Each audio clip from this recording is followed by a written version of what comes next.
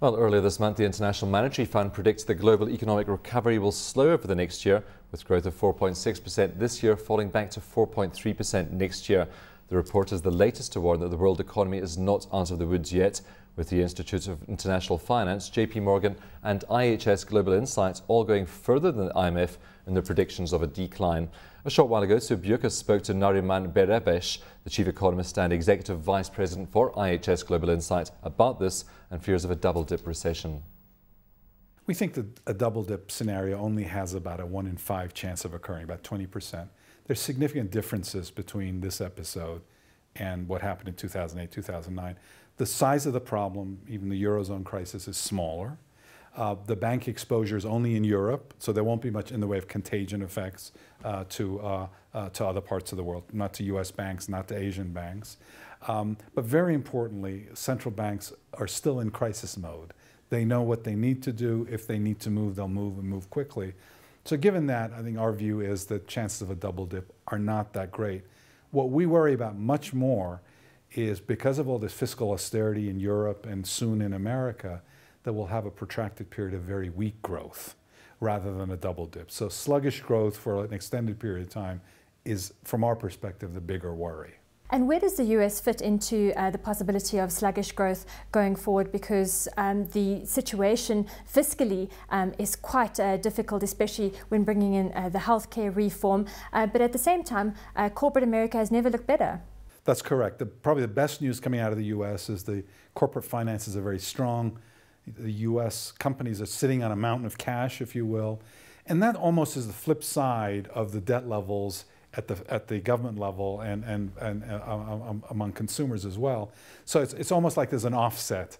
Uh, households, to a lesser extent, and, and businesses are saving, whereas uh, the government is dissaving, if you will, running these big deficits. So there's a bit of a counterpart here. So it is good news that at least parts of the U.S. economy, there's a lot of cash, you know, the, the, the, finances are healthy. And that will, in the end, help the U.S. sort of muddle through this, this, uh, this crisis, if you will. So when do you think we'll see sort of your big major uh, corporations and companies start hiring again and start generating jobs and getting that money flowing through the economy? Basically, they need to feel confident that the recovery is sustainable, that in fact there won't be a double dip. Uh, I think time is of the essence here. I mean, in the sense that the, the longer this recovery continues, even at sluggish rates, let's say two and a half, three percent growth for the U.S., the more confident businesses will feel that there won't be a double dip and will probably spend. So I would guess within the next year sometime, you will see businesses spending more. Obviously, China is very important in this turnaround, um, but at the moment, you've said that China's days of double digit growth are in fact over. Well, China's growth is crucial. It is a very large economy now in the global context. Its size relative to other economies is, is, is increasing.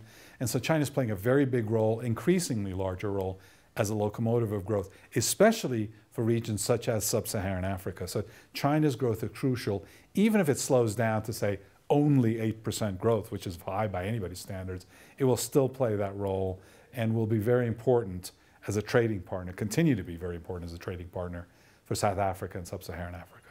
And what is your forecast for sub-Saharan Africa?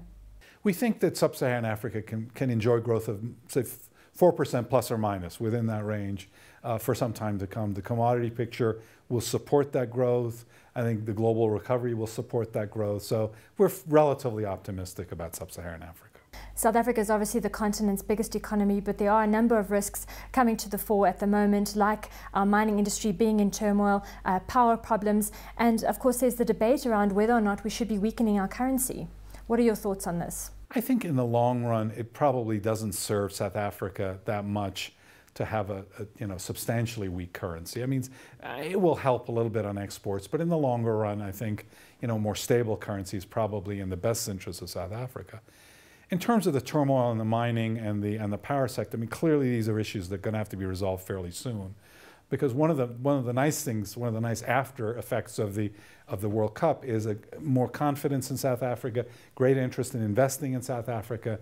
And so to the extent that those can be resolved, I think South Africa can become a very big destination for, for global capital flows, for global investment. And that I think will, is, will help South Africa tremendously.